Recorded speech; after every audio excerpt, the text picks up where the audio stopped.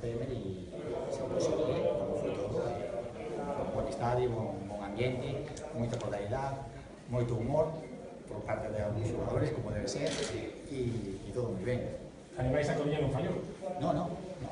Xa, xa dicíamos esta semana para Vigo que iba a haber moi, moi, moi bon ambiente e así foi, nunca falla. No que foi un partido, está mellor eso, bueno, mellor non importa, que ti non te consideras eles. si si, sí, sí, están prácticamente a la ciudad. pero creo que ya lo mejor la semana que vengo es difícil ordenador.